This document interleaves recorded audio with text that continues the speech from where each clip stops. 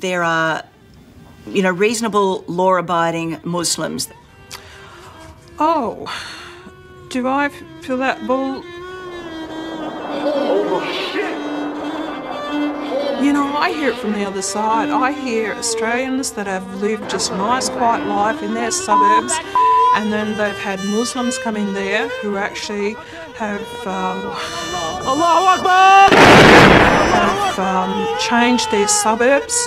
Cars parked across their driveway, or they have rubbish thrown over their fences.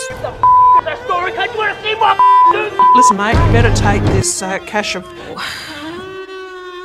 Listen, mate, you better take this this uh, suitcase full of cash um, and get out of here.